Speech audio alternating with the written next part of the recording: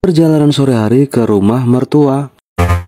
Sambal terasi lalapnya bata. Assalamualaikum semuanya. Halo guys, sore hari setelah diguyur hujan dingin-dingin Biar ada sedikit kehangatan, aku panasin sayur jengkol dan ikan abadi Setelah selesai aku lanjut makan sambil bersanding dengan kaleng keramat yang berisi partikel berwarna putih Dan jika digigit mengeluarkan suara, dan biasa disebut juga dengan onde-onde. Lanjut rencana setelah selesai makan, kita segera bergegas berangkat ke rumah mertua. Dan rencananya kita mau minep ya guys. Karena mama mertuaku yang perempuan masih pulang kampung ke Medan. Oke lanjut, inilah penampakan wajahku wajah ya. Sengaja aku pakai masker untuk menutupi gigiku yang gingsul sebaris guys. Atau biasa juga disebut dengan nyeprang. Dan baru saja kita melewati rumah orang tuaku guys. Dan begini guys penampakan jalan di desaku. Banyak sekali sekali genangan-genangan indah bersamamu. Yang telah kita lewati bersama bertahun-tahun. Dengan janji sumpah serapah. Akhirnya aku hampir sampai di perbatasan. Desaku dengan desa mertuaku. Dan akhirnya kami pun tertawa. Haha. Padahal perjalanan masih lumayan cukup jauh, bahkan harus melewati jalan yang licin dan terjal. Dan dilumuri dengan kuah ungkep kerikil. Yang pastinya kalau sampai kita jatuh jadi tempe penyet. Dan baru saja guys kita melewati tumpukan onggo atau ampas singkong yang ditutupi pakai terpal berwarna pink dan hijau pupus biar nggak basah kalau terkena hujan. Selanjutnya kita udah sampai di ujung desa ya guys dan sudah dapat dipastikan tidak lama lagi kita sampai di tempat tujuan. Namun sebelum itu aku ingin berpesan kepada kalian jangan lupa makan hari ini karena untuk menghadapi kenyataan yang ugal-ugalan kita butuh asupan bukan hayalan. Oke fokus lagi dalam perjalanan. Setelah kami melewati kurang lebih 1000